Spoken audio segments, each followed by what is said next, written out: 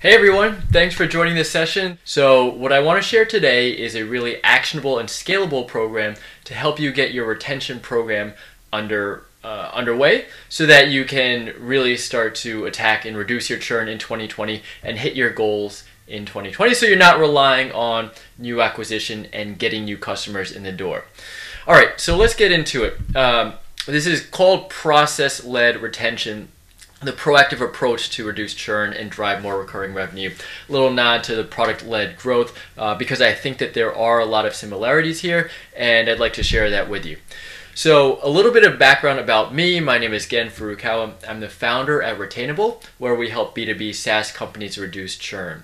So, 100% of my time is focused on this nagging problem that troubles lots of software as a service companies, and that is churn. Um, prior to starting Retainable, I was part of the founding team and led the marketing efforts at a high growth SaaS company called Jungle Scout, where we helped entrepreneurs launch and scale Amazon businesses. So I'm coming at churn from a marketing background, which I think makes sense as many of the principles are ultimately the same as, a customer success. Uh, which is ultimately identifying what the customer needs are and then providing the solution to help them solve that need. Uh, a little bit about me. I, I, also I have a family. We live in Austin, Texas. I was born and raised in New York, and I love all things basketball, both playing, watching, reading about, and now I'm going to be coaching. Uh, that's my daughter there. She's a little bit older now, and we or I am a big Steph Curry fan. So this image really spoke to me. I, I really like this one from Guy Nirpaz, uh, founder and CEO of Totango, which is a customer success platform. And to me, this visually illustrates the fundamentals of what a sound SaaS business look like because it's not about how many new customers you're getting or how fast your new customers sign up, but instead a majority of the revenues, what he's saying is 70 to 95 percent of revenues come from existing customers. So that's from the renewals and from the upsells. So it might seem that a majority of companies there's a, huge focus on new acquisition and growth from the top line in terms of user acquisition. Um, but I think ultimately the beauty of a SaaS business is generating recurring revenues, right? So if you can find product market fit and you can keep your customers happy, you essentially have the installed user base uh, that can become an annuity of revenue over time, month after month, year over year. So that's really where the beauty of retention comes, especially when you have the systems in place that are scalable over time, um, is that you're able to uh, start with your user base and then keep them engaged, and you no longer have to continue to pay more for customers. You've probably seen the stat that it's five to seven times more expensive to acquire a customer than uh, keep a customer, and most of the revenues are going to come from your existing customer base. So that's what I really love about this. And it speaks to me from um, my experience at Jungle Scout, where I was responsible for all of the awareness and acquisition. Um, the the challenge of growth becomes obviously far harder when there's a uh, the consistent customers that you, you acquire are going out the back door as well. So it's always harder to um, to get that traction to grow and continue to get net MRR growth um, if churn is a problem. So at Jungle Scout, for example, um, it was a whole team effort, but over the course of several months, several quarters, we ultimately prioritized churn and was very effective in reducing churn about 16% uh, this was across uh, you know the, the leadership, product development, design, marketing, customer success. It, it was really an integrated full team effort, but it's the framework and the tactics that we use there that I'd like to share with you today, um, and it's the, the, tactics as well that I share and work with uh, with the companies that I work with at Retainable. So. Um, a little bit goes a long way with improving churn. Um, let's just take a fictional B2B survey tool. Um, we'll call it Survey Chimp, very similar perhaps to uh, Survey Monkey.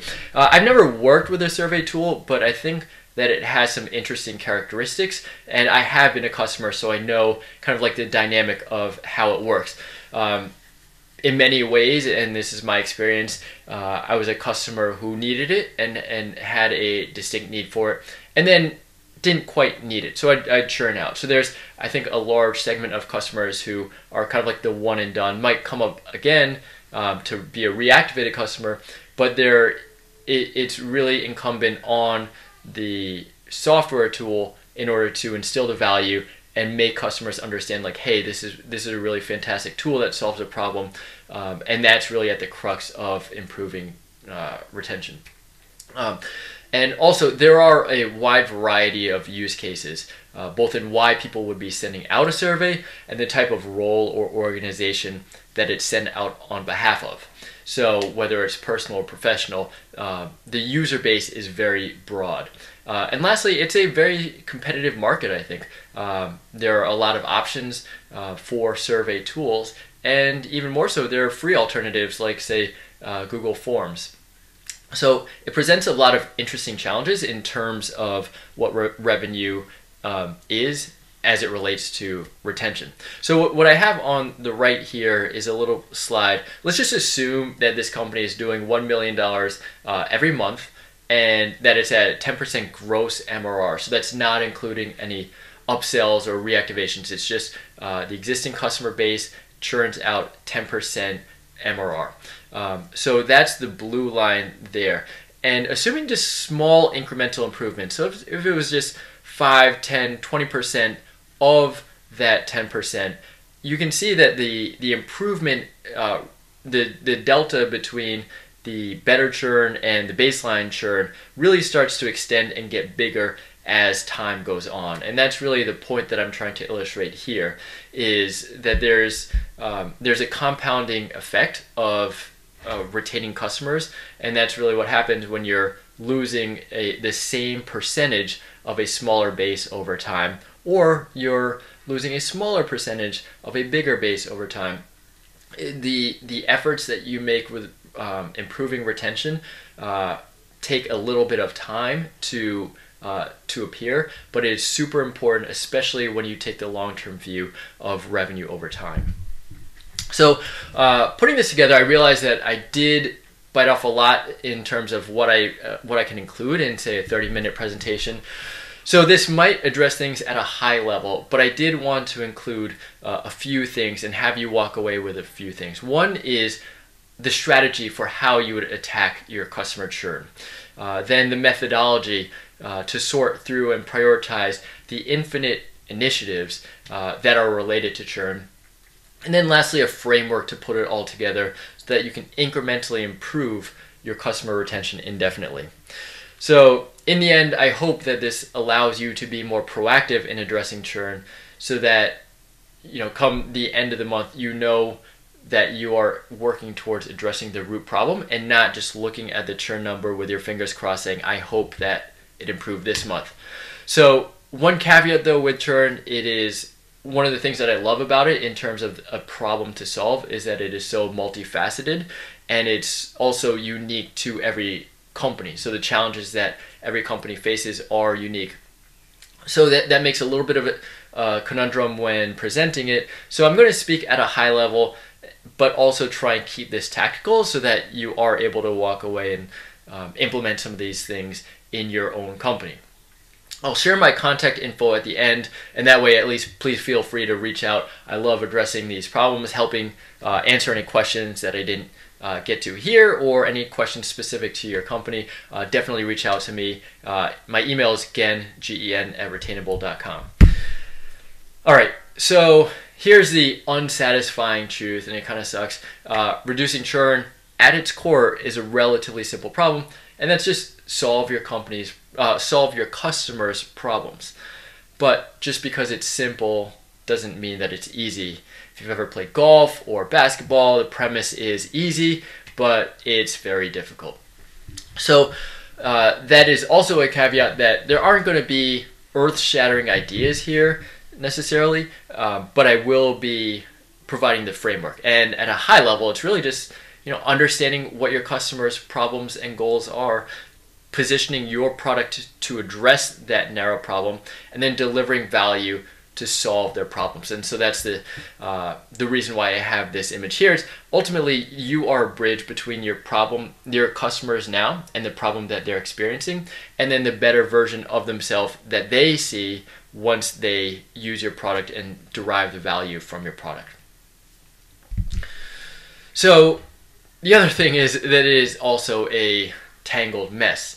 Uh, despite being simple, and every every churn challenge is its own snowflake with unique needs. Um, it's it's a thorny problem for everybody. So a couple things here. There is no single solution like hey you can do this and then all your churn problems are gone um, but instead it's actually just a, a series of initiatives and what you're looking at so uh, SurveyChimp for example 10% churn gross mrr churn but there are a lot of factors that play into that. And so that's really what I mean by layering in initiatives to slowly chip away at that churn.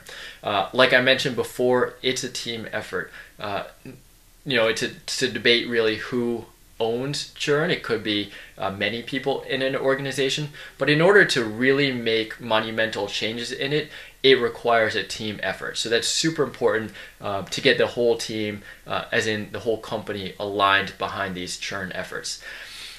Uh, another point here there's often imperfect or incomplete data. Um, we'll get into this, you know, in, in, several of the phases that I'm talking about. But uh, if you're familiar with, uh, you know, digital marketing, running split tests, you're you're kind of working with imperfect data or incomplete data, but you need to go with that data set, make your best assumptions, uh, hypotheses, and then test on that. The data that you you get back from the tests will be uh, important in reducing churn, but to get there, you kind of need to have this leap of faith with the data that you have at your fingertips. And then lastly, it takes time and it, it takes testing. Um, so you know, it's not necessarily as simple as like a lead gen or paid media where you can kind of like turn it on and off, but it's it's an incremental improvement over time, uh, and that's also what what makes it so fun as a challenge to to figure out. So at first I was thinking I'd break this up into time buckets, you know, uh, three months. But I think it just makes more sense to break it out into phases as every company has uh, their own backlog of things to do and priorities. So I wanted to break it up into three phases. Um, the first phase is really like learning, gathering the data. So that's speaking with the customers, running your analyses, you know, cohort analyses and product engagement. Then from that, you create your hypotheses. That's who who has certain problems, which of your uh, customer bases, personas have certain problems. What are the KPIs that KPI that will impact churn? And then setting up the fundamentals. The fundamentals I'll get get into a little bit later. And then phase three is taking all that, all the data that you've gathered, your hypotheses, your segments, and then putting it together to run specific tests to uh, improve the metrics that you think are most correlated or causative of customer churn. So, you know, not surprisingly, uh, building a scalable retention strategy is very similar to building a scalable co- conversion rate optimization program in that the, the, uh, the earlier steps are something that you're testing for, and then the outcome, whether it's acquiring a customer or retaining a customer, come from um, come from that. All right, so phase one. At the outset, I like to take a beginner's mind. So even if it's a product that you've lived or breathed or created from scratch, I think that it helps to take an arm's length perspective and see things with a fresh set of eyes, as difficult as that might be. So it's kind of sometimes the advantage that I have uh, with Retainable coming in as an outside person uh, because I'm not, I haven't been mired in the product and I don't have deep seated assumptions of what customers are and, and how they interact with the product. So the ultimate goal in this this whole thing is, uh, and particularly in phase one, is to get a deep understanding of the customer journey from end to end. So that's really uh, who is signing up. So from there, you're creating different segments of um, users. So for example, in SurveyChimp, it might be uh, a consulting company or a legal firm uh, but we want to understand who who's signing up, what their use cases are, what problems they're trying to solve, and then why do they leave. So the root cause of churn, I believe, is often based in a misalignment of what the customer's expectations are and then what happens when they're in the app, what the actual customer experience is. So if we're able to understand what the different customer personas are and how the product can address those, I think it's a huge, hugely important foundation to build upon um, and improve your retention over time. So that's what we'll tackle in this first phase is really learning about the customer, the company, the reasons for churn.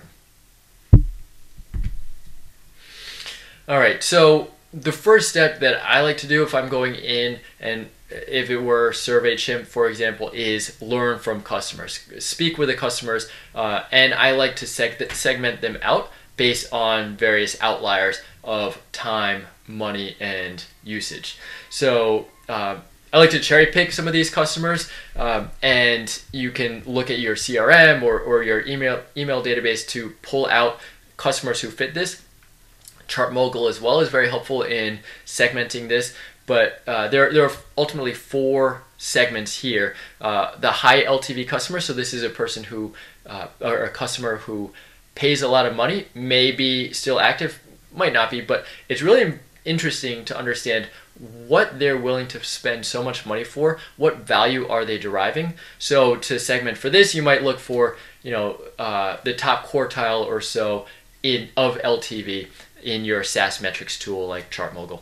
Um, another is the highly active feature user at the top. Um, this doesn't necessarily mean that they are also high LTV customer, but they're just really using the product a lot. And so this is something that you can get from your product engagement tool, you know, say Mixpanel or Pendo. But identifying what those key features are and those people who are constantly using it both in depth of every session and also in frequency of sessions. Uh, next, I like to speak with the recently churned customers. So, you know, the, the customers who canceled their subscription in the last 30, 60, 90 days, who, who still have a fresh memory of what their experience was with the app and then why they ultimately decided to churn out. Um, a, another way to segment this is, you know, different LTVs, lifetime values, Again, you can pull this from ChartMogul or your, your SaaS metrics app. Uh, and lastly are the disengaged customers who are still paying but not really using it that much. Why are they not using it? Uh, where was the gap or where was the, the change in expectation from when they signed up to um, when they kind of like started to disengage? I think that there's there's a lot of value to get from these four segments.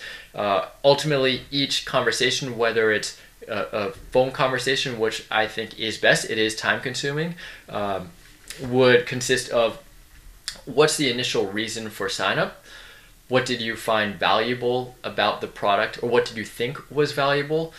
What is valuable with your actual customer experience? What could be done better with this product or the experience or the onboarding? And then lastly, for those who did churn, why did you churn? So these conversations and the feedback you get if you're not able to do actual phone conversations are hugely valuable in providing a, a more detailed and nuanced view for understanding why customers churn. And also a, a nice added benefit of speaking with the customers is that those conversations, the exact verbiage and, and the pain points and the benefits that they are bringing up can be repackaged, repurposed into product marketing or into support docs or into the onboarding to help people get to the key milestone moments. But to sum up, there's a lot to be learned from speaking with the customers, and so that's really the first step I think um, that that I always take and that I do recommend. So even if it's something that you you know it's your product, you've been in there a lot, try and take the beginner's mind and um, take that approach.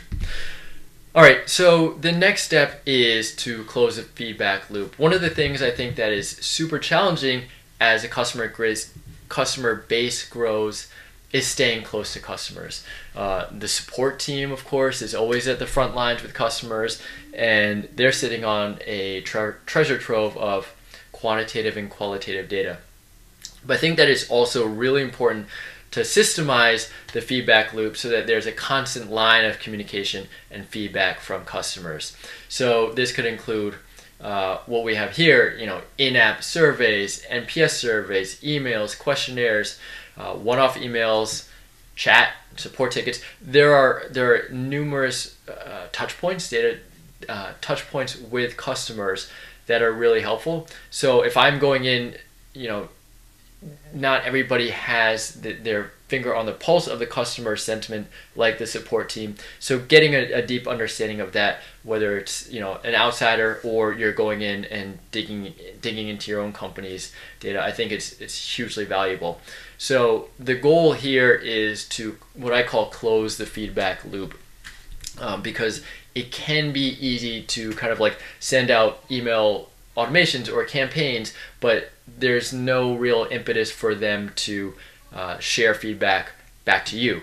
So just creating an automated system is really important because that can also raise red flags for customers who are dissatisfied. They might raise their hand implicitly and say, hey, I'm not super happy here. Uh, I would not recommend this to a colleague. That's an opportunity to reach out and learn more. So that's another way that you can hook in your automated feeds, you know, whether it's you're using Wootric or whatever, um, you know, create a, a Zap Zapier API hook to your support tickets or your, your email automation, drop them in. But um, trying to create a closed loop of communication between you, your product, and the customer, I think is really important uh, in proactively reducing churn.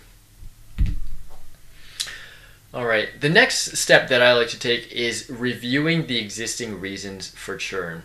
Um, there's a lot of addressable opportunities here, and I think understanding the nature of customer churn uh, is where you can pull out some of these opportunities. So, like I said in the first phase, we're trying to understand the whole customer life cycle and why customers sign up, what, what value they derive from the product, and ultimately why they churn out. So, if your comp- company has been collecting this data, fantastic. It's a great opportunity to go through, and then you can kind of see where where are there outliers in terms of a large proportion of customers showing dissatisfaction and churning due to one particular reason. Um, I have an example here. I think ClickFunnels does a great job. Uh, they have a, a multiple choice of reasons to churn, and then from there, well, we, we'll get into it later. Um, it's, it's a little bit of an offboarding flow to address those challenges. But it doesn't need to be anything complex, you know, like an uh, in-app experience. Uh, something as simple as an email could work. Here's an example from YesInsights um, sent from their team. Uh, why did you churn? And it's just uh, reasons. So I, I, don't know this email. I got this um, pulled this from their own website, but I would imagine that those are hyperlinks to a landing page that would address those particular objections. And if you are similar to what ClickFunnels does, you can address those objections with a reason. So um, here's an example of what ClickFunnels does in their offboarding flow. In this particular example, it's for somebody that found that it was too expensive so ClickFunnels is making a very concerted effort to prevent churn by addressing those objections of, um, of the product being too expensive, which is just code for not getting enough value from it. Uh, so you can see here there's a video from their CEO founder Russell Brunson speaking directly to why it is actually like not expensive or what the reiterating what the value is. But then also offering a few options to downgrade. So not the the best option because it is reducing recurring revenue, but at least it's maintaining a customer relationship um, as opposed to a, a, churn customer. Or offering alternatives like uh, helping them become an affiliate marketer or um, education in weekly Q and A webinars. Um, regardless, this is a really good way to capture the reasons for churn and then ultimately try and reduce churn and, and get people reactivated, re-engaged here by um, realizing that they're, they're missing something in the product experience. Uh, I should mention here that there are third-party software tools. You know, Brightback, Less Churn, Baremetrics does this um, to kind of create a an offboarding flow where you'd have different incentives or, or reasons to help hook people back in. But um, I think that this is a, a really uh, cornerstone fundamental part of a retention strategy that you should implement if it's not already in existence.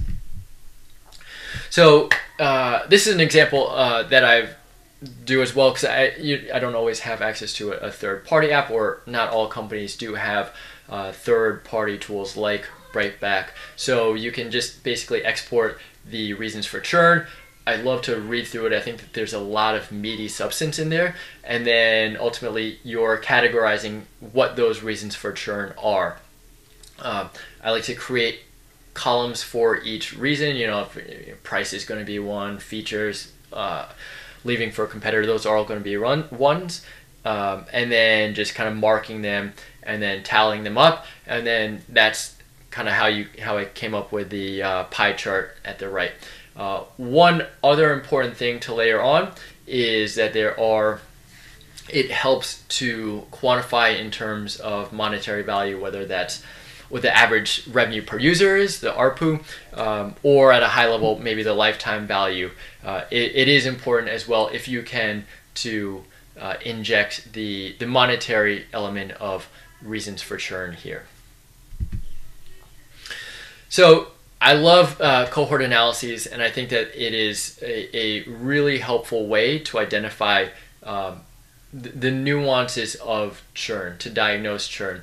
Um, especially when you look at different segments over time. So uh, the the SaaS metrics tools that you use, um, whether it's you know Chargebee, ProfitWell, uh, Baremetrics, uh, but I really like ChartMogul to um, to segment and, and look at the cohort over time. So what we're looking at here, just to explain it briefly, is reading across the rows are the month or the week. Generally for a B2B SaaS company would be the, the week, I'm sorry, the month. For B2C or, or mobile apps, it would certainly be a shorter time frame. But for the B2B SaaS app, it's uh, months going across and then the numbers 0, 1, 2, 3 are their months in the customer life cycle. Um, but uh, they're they're really helpful because it allows you to isolate particular points in the customer life cycle and identify if there have been any changes or improvements in a particular month. So, um, for example, for SurveyChimp, we said that it's 10% gross MRR churn.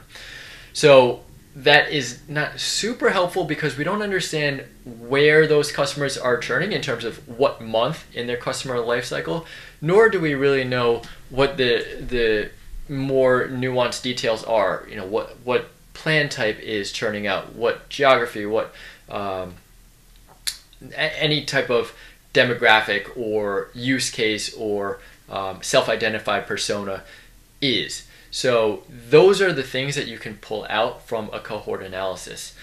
Um, you can then use those takeaways to focus the efforts on uh, where churn is highest and see if you can create any improvements carry forward in future cohorts. So we'll get into that in a little bit with onboarding, but I think a cohort analysis is really a wonderful place to identify where there are little opportunities in terms of the customer lifecycle or type of segment to target to improve retention. So here's some, you know, like maybe basic blocking and tackling, addressing customers who churn but can possibly be saved. So uh, one is delinquent churn.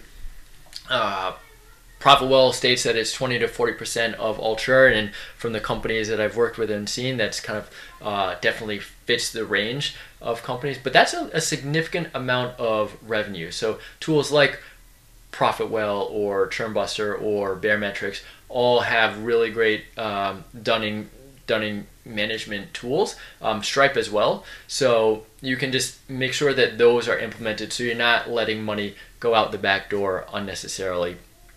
Um, another area of opportunity are what I call canceled but didn't churn. So customers have canceled but generally they do have uh, the until the remainder of their next billing date in order to uh, they have until their next billing date to use the product. That is an opportunity. That's a gap of time that they're still they've already paid for and they're still technically customers, but they're on their way out. And if there are reasons that they give in their exit or onboarding survey, offboarding survey that are addressable, that's absolutely a time to reach out. You know, if for example they're saying that it's a feature or if it's a competitor or if it's price, those are all reasons that you can address. You know, you, you give them a discount if uh, you've decided that a discount is something that makes sense financially for the company, or if it's you know a feature that they don't know about or haven't used. Uh, there's there's a lot that they can um, they can learn or that your support team can reach out to and try and get them back uh, because in many cases it might have to do with just customer education and onboarding. And lastly, uh, unsatisfied customers based on surveys, questionnaires, and support tickets. So this is if a customer expresses that they're not happy in any of their uh, channels of communication, uh, that's a little bit of a red flag. That is a red flag of potential churn. So that's something that you want to make sure of. Again, try and create some automation. If it's a Wootric NPS survey, for example, and it becomes a detractor, you, you want that immediately, whether it's a Slack bot or an email to your uh, support desk.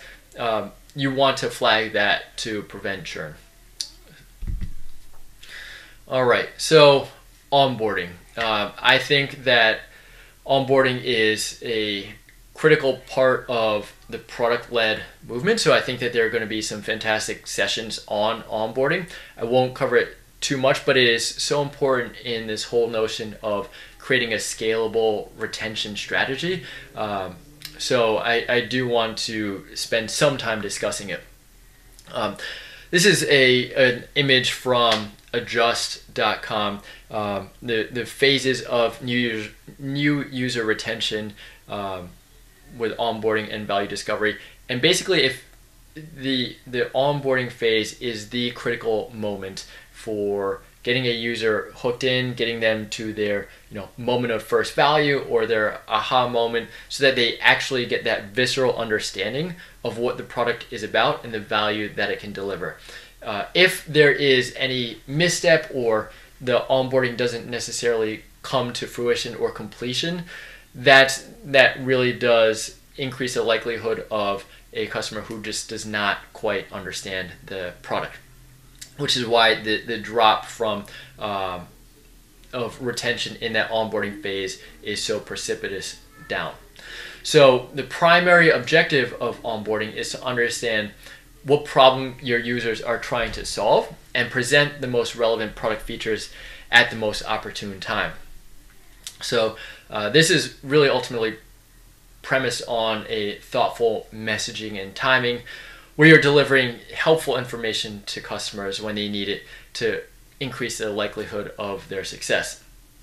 So what I what I say here is like what is the retention funnel? What are those key milestones that every user needs to have in your product in order to achieve their notion of success? So, you know, SurveyChimp, for example, I would say that the key actions derive from creating questions in the survey, uh, distributing the survey, and then logging and seeing the answers and then pulling the analysis from it. So using that as a high level assumption, I would investigate the lifetime value and the churn rates for different users and use cases and take a look at users who did or did not uh, complete certain uh, of those milestones and then what the correlation is of completion of milestones to uh, short-term and long-term retention. Is there a correlation between these actions and an improved retention rate? So, uh, at a high level, the onboarding is super critical, and uh, I, I mentioned it last, but it, it's kind of bringing it full circle to understanding how to uh, deliver the most value to new users when they're most excited and have just signed up for the product. So in order to present the most tailored and customized experience to users, it's important to understand how those customers define success. So here are a couple examples. Um, one is from SurveyMonkey. Again, like I said, I think a survey tool is a really interesting example because it's such a, a wide breadth of potential users. So SurveyMonkey does a really nice job of um, of that onboarding flow. What are the job um, you can see here what are the job roles that you have and what are the job titles. So basically, what are the types of uh, use cases that you would have for signing up for SurveyMonkey, and then from there they kind of feed you into uh, whether it's a pre-made template or uh, suggested questions. It just shortens the gap of trying to figure out what the product is by presenting uh, the most relevant content. Um, and it, it, doesn't necessarily need to be in product like SurveyMonkey did. Groove does a really nice job. Uh, this, I think, is actually a fairly famous email at this point, but uh, from the CEO founder sending out an email uh, What are you looking for? Why did you sign up? What are your main goals? Um, what are you trying to accomplish? So, however, you do get it, whether it's in app, a survey, um, an onboarding form, it's super important at as a starting point to understand how your customers define success because that ultimately becomes the end zone, the final goal that you're driving them towards in the onboarding and then just in the general product engagement flow. All right, so now in this second phase, we want to build upon the information gathering that we did in phase one to formulate the hypotheses on how we'd understand and address customer needs more effectively. So in doing this, I find it most helpful to pull out one or two of the larger revenue opportunities in terms of customer segments. So that's a customer segment that can be discreetly defined, uh, whether it's you know by plan type or LTV or um, referral source. There are any number of ways, but what are those segments? What are the key metrics that you're optimizing for in order to get them to do more of? And then what are the messages, what's the content, and what are the challenge, uh, channels that you are going to leverage in order to impact those metrics on those segments? So that's really the, the crux of this phase two goal, which is to create the hypotheses of the information that, that was gathered in phase one to, to test out uh, going forward.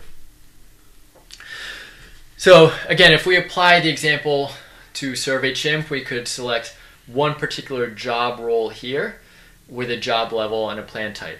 So for example, it would be logical to create segments based on the different job roles uh, in the onboarding phase. And then take a look at how does retention differ based on the different job roles. And to even go more granular, does a particular job level, you know, let's say it's a CEO or a VP of customer success, uh, do they have differing retention rates? Um, so at this stage, it's about identifying the different customer segments and then separating them out um, so that you can understand any explicit behaviors, differences in behaviors, and then how you can encourage those users to engage with certain features. Um, this is all going towards uh, identi- understanding what the customer's notion of success is, which we got in the last um, in the earlier onboarding phase, and then how you can position your product and communicate and deliver uh, relevant information to fulfill that promise that you presented. All right, and then in phase three, this is really all about testing. So uh, package up all of the, the information that gathered in phase one, the segments and the KPIs in phase two, and then create a testing roadmap.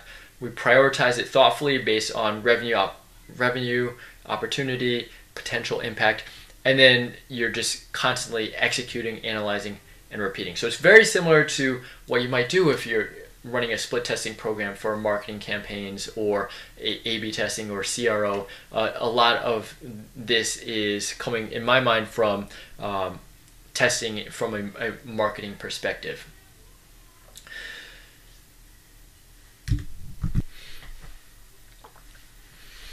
All right, so this is an example testing roadmap uh, that I did. Uh, it's basically putting all of the initiatives on paper. Uh, like I said, it, it's very similar to what a split testing or, or, or, marketing testing roadmap might might look like, or even a product roadmap. I'll show you more detail. Obviously, this is a little bit too small to read, but I just want to show at a high level uh, what we have here. Ultimately, I think it's just most important to uh, to create the hypotheses of how you would impact different segments to do more of these key uh, key behaviors that you think would help them engage more and improve their retention over time. So this is kind of like the, the text version of what I have, uh, what I had in the previous slide. But basically the, the first column is at a high level is including all of the tasks. And I, I like to group these by uh, whatever is proactively improving retention. Reactivation, which is for customers who understand the product and the perceived benefit, uh, but have churned out. They're still a, a wonderful opportunity, and I think that they need to be segmented out as opposed to just dropped in the bucket of all other leads. Um, upsell opportunities, so that's for existing paying customers to uh, to move up a plan or cross sell if there are various uh, products within your portfolio. Uh, then delinquent churn, uh, like I mentioned earlier, that is an opportunity to that you do not want to forego in terms of letting failed transactions drain your uh, recurring revenue and drive your churn up. And lastly, uh, in terms of buckets, is tightening the feedback loop. It's it is really important to make sure that all uh, all gaps in communication are closed, so that you're constantly getting a feed of customers and their their feedback, not just relying on what social media might say or what people on social media might say or inbound support tickets.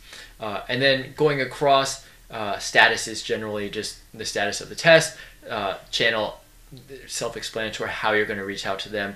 The success metric, the segmentation, and the sample size, I think are where it is really important in terms of how you're going to prioritize what these initiatives are.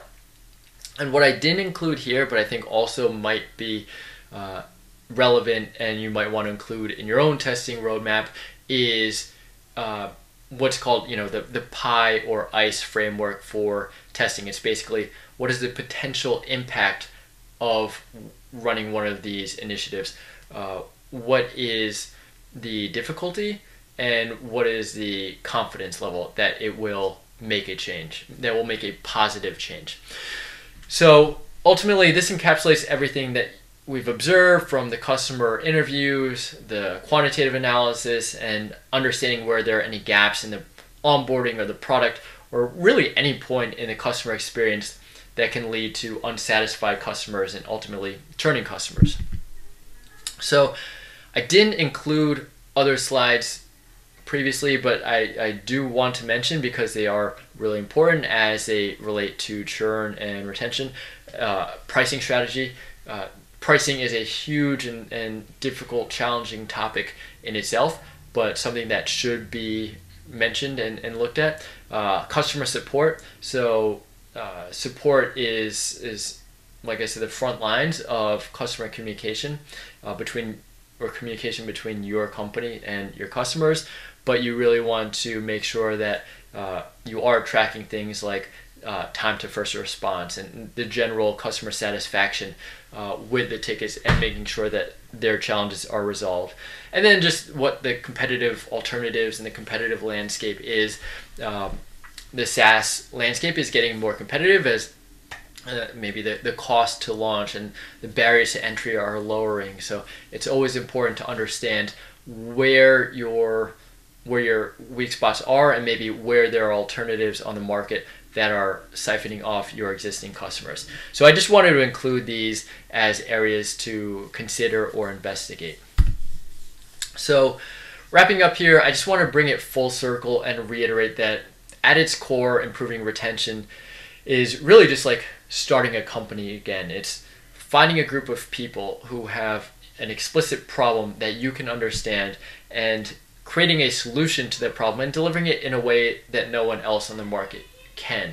So, um, like I was saying, the the the challenge is or the problem is relatively simple to conceptualize, but the challenge is that there are so many different moving parts and it's a multifaceted problem.